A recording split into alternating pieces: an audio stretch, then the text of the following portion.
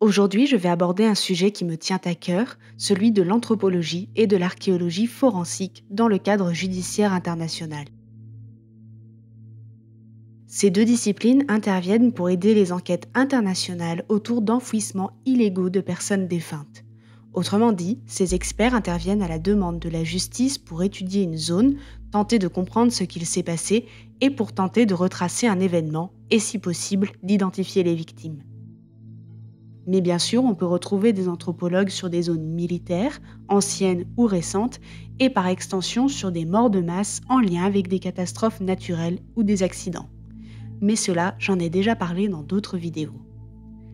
Appliquer les méthodes de l'archéologie ou de l'anthropologie dans le cadre d'une enquête internationale nécessite une minutie accrue quant à la restitution des informations. Les objets in situ ne sont pas de simples objets, mais des pièces à conviction. On a l'habitude à notre échelle d'entendre parler d'anthropologie forensique dans le cadre d'enquêtes en lien avec des meurtres et des disparitions sur le territoire. Mais cette discipline se retrouve également dans le contexte des charniers de guerre et de tueries de masse sur des individus ciblés.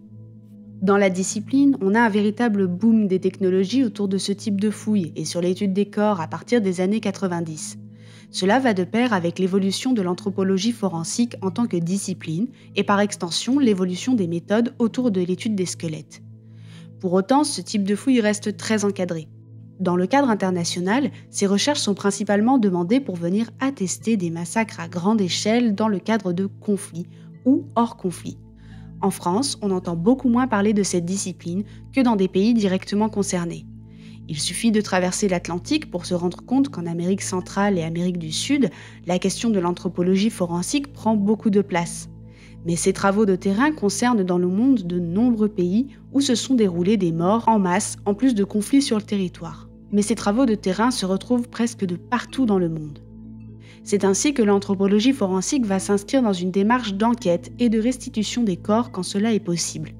Car pour chaque tuerie de masse, bien souvent, des proches attendent des années de savoir si oui ou non quelqu'un de leur famille qui a disparu se trouve dans une fosse.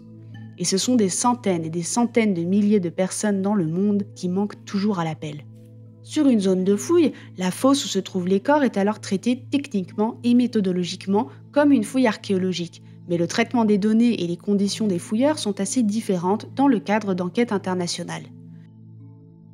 Tout d'abord, une fouille de zone avec crime de masse se déroule parfois dans des endroits toujours sujets à la guerre ou au conflit. Pour des personnes coupables de ces crimes, le but en enfouissant les corps est bien souvent à la base de les cacher.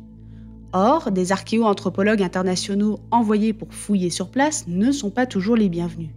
Ainsi, il y a une véritable vigilance à avoir pour les fouilleurs pendant leur travail, puisqu'ils peuvent se retrouver menacés par des personnes ne souhaitant pas que l'enquête se déroule. Également, la vigilance sera accrue in situ en cas de charnier potentiellement piégé par des mines ou encore par le dépôt de substances chimiques. Chaque avancée dans le travail apporte des pièces à conviction supplémentaires dans l'enquête. Ces dernières peuvent avoir un retentissement considérable et attester d'une tuerie ou encore d'un génocide. Un travail important pour l'histoire, mais aussi pour les survivants et leurs descendants. Ces pièces à conviction sont donc très précieuses. Et en termes sanitaires, les règles d'hygiène doivent être respectées, non seulement pour la sécurité des fouilleurs, mais également pour limiter la perturbation des éléments trouvés en vue d'analyse en laboratoire par la suite. On n'oubliera pas l'importance de la photographie de terrain sur le site de fouille, mais également une fois que les corps sont déterrés. Pour autant, il y a une chose qui sépare grandement les archéologues qui travaillent sur des fouilles anciennes et ceux qui travaillent sur ce type de charnier. Les uns trouveront majoritairement des os secs, tandis que les autres auront affaire à des restes de tissus mous et des éléments en lien avec les crimes pouvant être traumatisants. Des corps qui possèdent encore leurs vêtements et qui sont partiellement décomposés pour certains. Des mains attachées, des baillons dans la bouche ou encore des yeux bandés. Et comme en parle Kleakov dans son livre La mémoire des os, des bébés avec des tétines au Rwanda. C'est un exercice de recherche qui demande beaucoup de recul et de sang-froid. C'est pour cela qu'un archéologue ou un anthropologue qui souhaite travailler sur ce type de scène devra développer des qualités très différentes de celles d'un fouilleur sur une zone ancienne. Il endosse la responsabilité de faire avancer une enquête bien souvent terrible, avec l'obligation d'avoir le recul nécessaire pour bien faire son travail. Il arrive à lire dans les eaux les positions et le déroulé d'une action. Ce sont des images qui marquent à vie. Pour autant, une fouille ne veut pas nécessairement dire une exhumation complète des corps. En effet, bien que le prélèvement de ces derniers pour une étude en laboratoire et une restitution avec un dépôt en morgue soit courant, il arrive que des fouilles ne mènent pas à des exhumations. Bien souvent, c'est en lien avec des croyances locales. Grâce aux technologies aériennes et de terrain, on peut repérer une tombe de masse. Pour autant, que ce soit au Cambodge ou encore à Cerniki en Ukraine, pour ne citer que deux exemples, il a été demandé de ne pas forcément sortir les corps pour ne pas les perturber. L'enquête devait alors se dérouler entièrement in situ et l'étude des squelettes également. C'est une question très importante que de savoir à quel point la volonté d'un peuple prend le dessus sur les nécessités d'une enquête à l'international. Bien souvent, c'est en lien avec une croyance. L'idée de ne pas déranger les corps est liée à l'idée de ne pas perturber une âme qui se promène et qui par conséquent ne retrouverait pas son corps si on le déplace. Ainsi, des zones de mémoire sont érigées au-dessus de certaines tombes de masse quand ce type de cas se présente. Les fouilles dans ces contextes sont bien souvent limitées dans le temps, tout comme, à titre d'exemple, les fouilles d'archéologie dites préventives en France et parfois ce sont des centaines de corps à repérer et analyser. De plus, les archéologues devront définir si la fosse en question est bien la zone de mort des individus ou bien si les corps ont été déplacés par la suite pour être déposés ailleurs. On voit bien les différences de traitement dans le premier cas, les corps seront dans des positions logiques selon le type de mise à mort et l'angle de chute, tandis que dans le second cas, les corps seront entassés sans aucune logique en lien avec leur mise à mort. En anthropologie forensique, il est possible de déterminer comment une personne a pu tomber, mais aussi le type de fracture ou de blessure visible sur ses os. Mais parfois, il faut accepter que la mort ne soit pas visible sur les os, comme pour des blessures touchant les organes internes directement. Idem, il est courant de constater que les corps ont été déplacés après la mise à mort pour cacher des preuves de ces méfaits, ce qui, à terme, peut être problématique pour la restitution des restes aux familles. Il n'est pas rare qu'un corps soit divisé en plusieurs charniers s'il y a eu des déplacements de ces derniers. La définition du type de mise à mort est un élément important, voire majeur dans ce type d'enquête. D'abord, des quotas sont faits quand une diagnose sexuelle est possible sur les individus pour jauger si on trouve majoritairement des hommes, des enfants ou encore des femmes. Grâce aux vêtements et aux accessoires, il est aussi possible de différencier les civils des militaires. Les tueries de masse sont bien souvent un appui, celui des survivants qui vont venir témoigner et apporter des éléments pouvant être concordants avec la tuerie étudiée.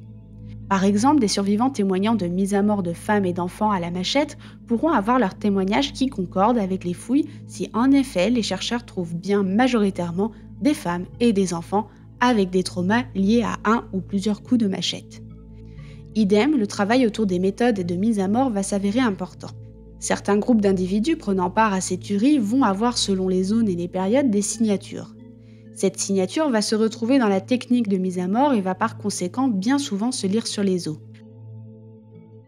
Les individus sont formatés à utiliser un certain type d'armes et aussi à tuer d'une certaine façon, et cela peut aider à les identifier tout comme la balistique qui va se lire sur les ossements et qui va éventuellement permettre de définir un type d'arme et par conséquent retracer quelles étaient les armes vendues à ce moment-là, par qui et pour qui. Mais attention, parfois il arrive que certains groupes imitent les méthodes d'un autre groupe pour ne pas se faire prendre. Autrement dit, les anthropologues et scientifiques associés se doivent d'avoir l'esprit très clair pour ne passer à côté d'aucun indice.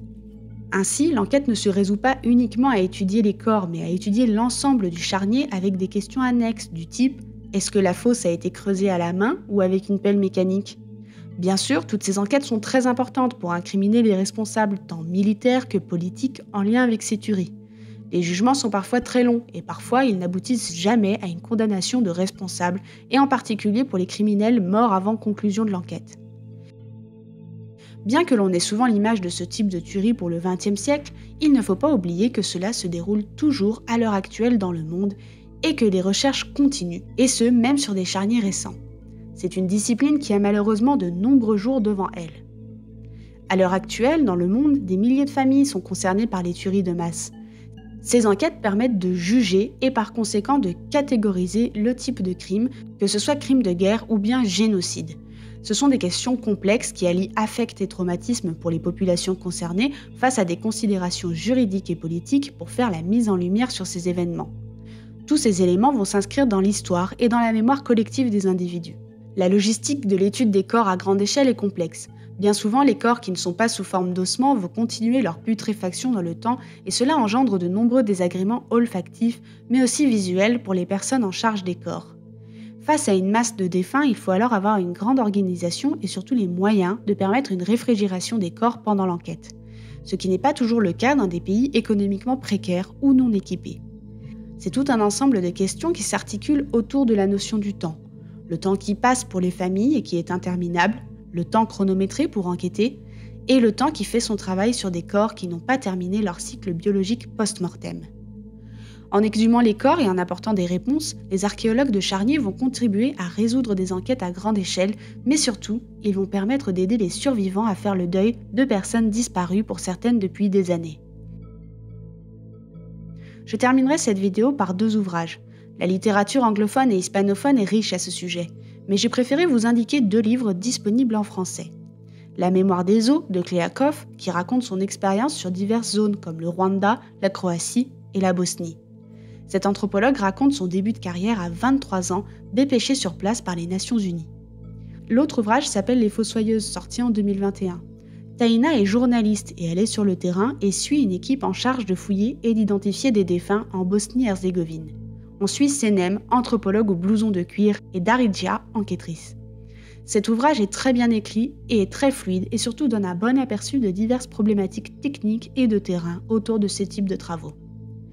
En annexe, j'ai écrit deux articles qui sont disponibles sur mon site, l'un sur la fouille de Charnier au Cambodge et l'autre sur mon retour à propos d'un colloque de l'INRAP en 2019 nommé Archéologie et enquête judiciaire.